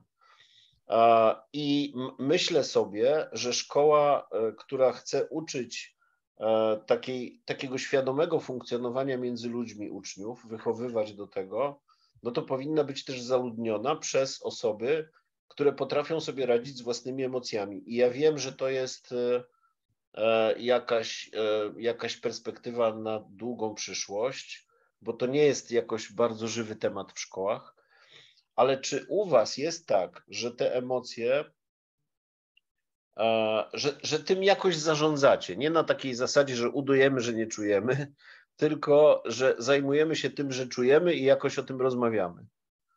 To ja mogę, jak, bo mam na końcu jest? języka. No y, właśnie. Kwestia i takie zasadnicze, y, tutaj kwestia jest taka, że y, ważne jest odczuwać emocje. Jeżeli ktoś nie odczuwa emocji, to, to, to, to działa nieneurotypowo. Natomiast jest clue jest tutaj, czy jeżeli jestem zła, to mm, rzucam krzesłem w koleżankę albo ją wyzywam, czy też jestem w stanie powiedzieć, że jestem zła, i takie zachowanie mnie złości. I tak jest ze wszystkimi emocjami. Y, emocje trzeba nazywać. I tutaj ja to zawsze powtarzam, z nauczycielami pracuję się tak samo jak, jak z uczniami, ze sobą też tak pracuję, y, żeby sobie uświadomić, jaką emocję odczuwam i dlaczego ją odczuwam. Bo jeżeli zapytamy, dlaczego tak mi jest, i jeszcze raz dlaczego, i jeszcze raz dlaczego, to często się y, okazuje, że emocje powoduje wcale nie to, co nam się wydawało, że y, powoduje. Mm, I to jest chyba najważniejsze w zarządzaniu emocjami, ale jeśli mamy właśnie te struktury i mm, taki czas na rozmawianie o emocjach, ja w ogóle mam superwizję dla nauczycieli w mojej szkole. Y, y, to się odbywają tam raz w miesiącu dla chętnych. Y, jest to czas taki właśnie na rozmawianiu o emocjach i to są superwizje z superwizorem takim zewnętrznym. Natomiast właśnie taka umiejętność i pytanie, co, co ci jest i dlaczego tak ci jest, jest bardzo ważne. I jeszcze ja bardzo często sama się tego nauczyłam przez lata i mówię moim nauczycielom, że Mm, to jest szczególnie ważne. Ja stosuję to, jak rozmawiam z nauczycielami, a ktoś już tutaj wspomniał, to się też przydaje na przykład w rozmowach z rodzicami, że y, jest, to jest problem i jeżeli ktoś ma trudne emocje związane z problemem, to nie jest o mnie, tylko o problemie. Y, I nawet jeżeli ktoś reaguje bardzo mm, emocjonalnie, to ja zawsze pamiętam taki cytat, że krzyk zawsze oznacza ból. Jeżeli ktoś y, reaguje emocjonalnie, to znaczy, że jego problem jest większy, a to nie jest o mnie. Jasne. E, Mateusz. Jeżeli mówimy o emocjach, to na pewno e, warte podkreślenia jest to, że tutaj też zostało wypowiedziane. Emocje są czymś naturalnym tak naprawdę. Każdy z nas je doświadcza. E, ktoś kiedyś fajnie powiedział, że tak naprawdę jesteśmy niewolnikami naszych emocji bo one powodują to, w jaki sposób zaczynamy w pewnym momencie e, działać, ale żeby troszeczkę wyjść z tej niewoli emocjonalnej, e, to właśnie przede wszystkim trzeba sobie dać prawo do tych emocji. Jak mówimy o tym, że ktoś ma prawo do emocji, to przede wszystkim mówimy o tym, że warto je nazywać. I tutaj znowu wchodzimy w takie konstruktywne rozwiązywanie emocji. Jeżeli ja widzę, że ktoś jest, e, bywa rozemocjonowany, E, to, to po prostu o tym mówię. Widzę, że jesteś wściekły, widzę, że jest ci przykro, widzę, że masz w sobie ból, smutek, żal i tak dalej, prawda? Wprost nazywam to.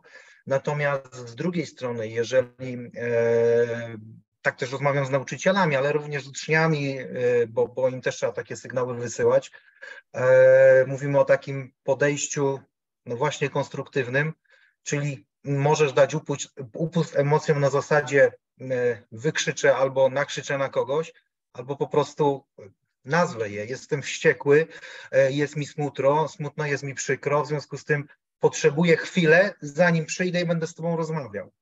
E, I to jest chyba takie dosyć, dosyć kluczowe, czyli jakby podsumowując, mamy prawo do emocji, e, ważne jest, żeby je umieć rozpoznać, żeby być ich świadomym. Jak jestem świadomy, to je nazywam, tak? A jak je nazywam, to w pewnym momencie zaczynam o nich mówić, nie podejmując działań bardziej, e, bardziej, bardziej racjonalnych. I jeszcze jedna ważna rzecz, jeżeli widzę kogoś, kto jest rozemocjonowany, to znowu najgorsze, co można w tym momencie zrobić, to krytykować taką osobę albo potępiać. Czyli mhm. nazywamy tą emocję, widzę, że jest ci smutno, widzę, że jest ci przykro, widzę, że masz taką emocję. E, spróbujmy o tym na spokojnie porozmawiać. Potrzebujesz czasu? Dobrze, dajmy sobie chwilę czasu. Ja tutaj jestem, ja tutaj czekam. W każdej chwili możemy wrócić do tej rozmowy, czy też do tego, mm, do tego tematu. Tak do tego podchodzę. Jeszcze gorsze niż potępienie jest powiedzenie nie martw się, albo nie, nie martw się, co denerwować, co się tak denerwujesz, o co chodzi? To jest też takie unikanie, to o czym mówisz, Ola, unikanie wydawania opinii, prawda? Jakiś tam, nie jesteś w cudzej skórze, nie, więc nie tak naprawdę nie wiesz, tak, co on Nie można negować cudzych emocji Dokładnie. Dokładnie. E, nie wiem, na ile Państwa do tego przekonaliśmy, że ten, być może to jest temat na osobny webinar, na temat tych emocji, ale gdzieś generalnie nasuwać takie podsumowanie, że zajmowanie się emocjami, nazywanie ich zamiast pozwolenia na to, żeby nas zalewały, jest właśnie drogą do racjonalnej analizy sytuacji, a nie przeciwnie. E, czy właśnie nie zajmowanie się emocjami, ignorowanie tego, że ludzie przeżywają różne e, trudne emocje, powoduje, że trudno się skupić e, na, e, na istocie rzeczy, bo te emocje cały czas zachęcają do tych prostych, na przykład zachowań z, ze spektrum walki albo ucieczki, prawda, w zależności od tego, jaka emocja. E, no dobrze, nie możemy i tak już tu, i tak już tu więcej pewnie nie powiemy w tym wątku. Ja chciałbym teraz zrobić właściwie nie przerwę, tylko zaprosić Państwa do wykonania jednej czynności, która jest dla nas bardzo, bardzo istotna ze względu na relacje z naszymi e, sponsorami, e, a konkretnie z NRC. E, to chodzi mianowicie o odpowiedź na taki post-test, który realizujemy po to, żeby wiedzieć, jak Państwo odbierają te treści, którymi się zajmujemy. I ja w tym celu udostępnię ponownie prezentację i tam znajdziecie Państwo QR kod, zaraz do niego dojdę, mam nadzieję, że mi się to uda. E, zaraz do niego dojdę, nie udało mi się jeszcze. Ale już jestem blisko. No właśnie. Macie Państwo tutaj e, na slajdzie QR kod, ale też jeżeli wejdziecie na Mentimeter, to możecie wpisać kod na telefonie Myślę, że na czacie też się za chwilę pojawi e, dostęp do tego.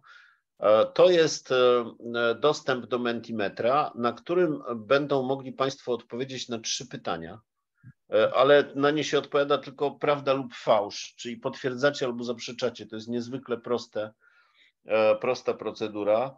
Bardzo zachęcam do wypełnienia tego, bo dla nas to jest jakiś dowód, że Państwo żywo reagują na to, co, co e, tutaj między nami się dzieje.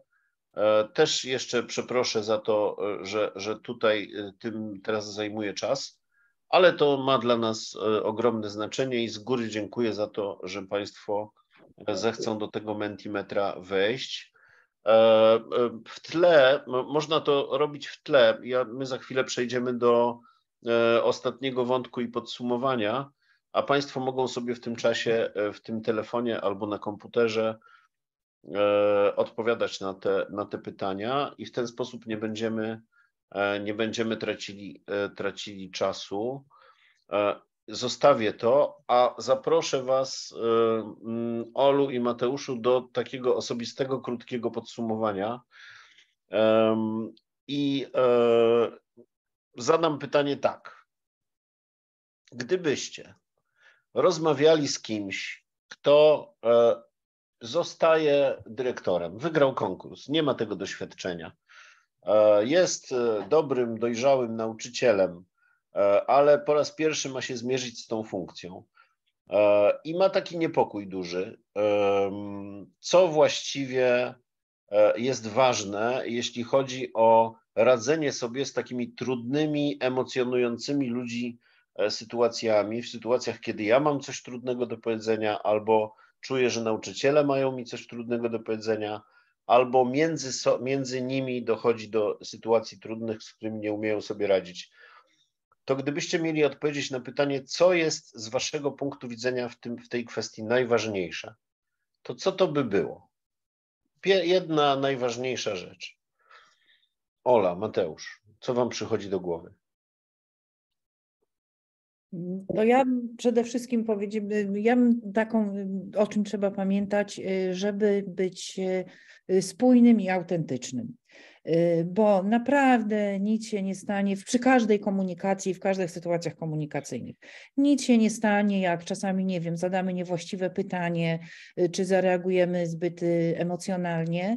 Mm, natomiast jeżeli co innego robimy, a co innego mówimy i nie czujemy tego, co mówimy, czyli stosujemy różne techniki, które tam, nie wiem, nauczono nas na różnych kursach dyrektorskich, y, a nie jesteśmy autentyczni, y, to nie jest to dobra droga y, do rozwiązywania konfliktów. Jeżeli ludzie czują, że autentycznie chcemy im pomóc, to nawet jak nie mamy tych technik komunikacyjnych opanowanych, to myślę, że to nasze wsparcie będzie widoczne i odczuwalne. Mhm. Czyli trochę chodzi o taką osławioną w rozwoju osobistym zgodność z sobą w relacjach z ludźmi, nieudawanie. Dokładnie. To oczywiście, no jakby warunkiem takiego nieudawania jest to, żeby mieć na przykład e, jednak wewnętrzną pewną skłonność do tego, żeby ludzi traktować poważnie, bo wtedy e, będąc, trudno będąc spójnym, e, okazywać szacunek, jeżeli się tego wewnętrznie nie przeżywa. Ale rozumiem, że to jest taka praca z własnymi motywacjami. No wiesz, nie wyobrażam, bardzo trudno byłoby zarządzać zespołem, jeżeli się ludzi nie traktuje poważnie. no tak. Dobrze, że to powiedziałaś, bo ja się zaplątałem w ten wątek. E, wierzę w to też, e, ale gdzieś generalnie wierzę też, bo mi się to skleja z tym pomysłem na schodzenie z pomnika że, że y, dyrektor, który chce udawać człowieka, który zawsze sobie ze wszystkim radzi, nigdy nie przeżywa trudnych emocji, nie ma wątpliwości, e, no to y, ma małą szansę na to, żeby zbudować zaufanie ludzi, bo ludzie raczej będą, będą sądzili, że to jest rola, a nie, nie prawda o nim. A ty, Mateusz, co jest najważniejsze? Ja, ja bym się tutaj skupił na takiej uważności, ale żeby być uważnym, to przede wszystkim trzeba słuchać, Czyli słuchaj, słuchaj ludzi, słuchaj tego, co mówią, słuchaj, jak mówią. Nie mówimy to o podsłuchiwaniu oczywiście, e, tak. e, ale żeby też słuchać, słuchać trzeba słyszeć, a żeby słyszeć, e, to po prostu bądź między ludźmi. Bądź między tymi, którymi pracujesz, bądź jednym z nich. -huh. I mhm. to chyba jest takie kluczowe.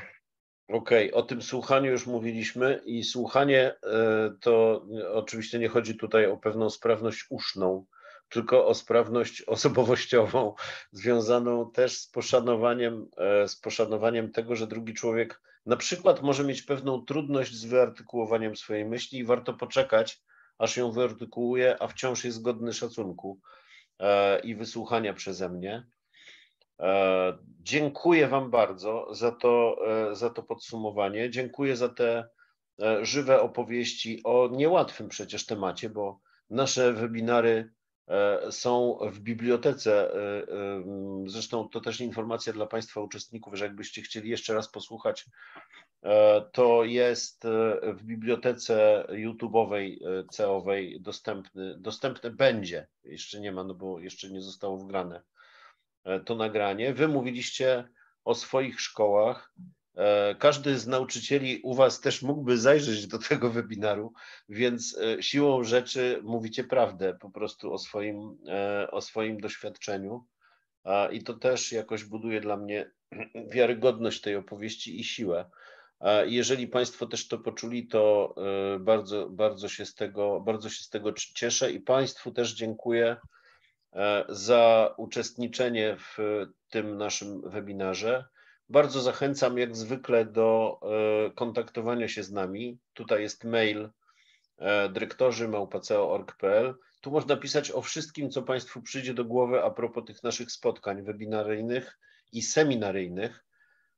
Przypominam, że mamy styczeń, znaczy przypominam tym, którzy już wcześniej to wiedzieli, a mówię do tych, którzy odwiedzają nas po raz pierwszy, że odporna szkoła dla dyrektora, czyli te wydarzenia, które CEO realizuje bezpłatnie dla dyrektorów szkół, e, polegają na tym, że mamy webinaria, które zwykle, z wyjątkiem właśnie stycznia, są w ostatnią środę e, miesiąca, a seminarium, e, które jest spotkaniem między dyrektorami, już bez prelegentów, tylko z udziałem moderatorów, odbywa się w pierwszą środę miesiąca o godzinie 12 jeżeli Państwo e, wejdą na te, zalogują się na te zapisy, o których mówiłem wcześniej, CO-owe, to będą tam Państwo mieli informacje i takie samo uzupełniające się formularze zgłoszeń na e, te wydarzenia.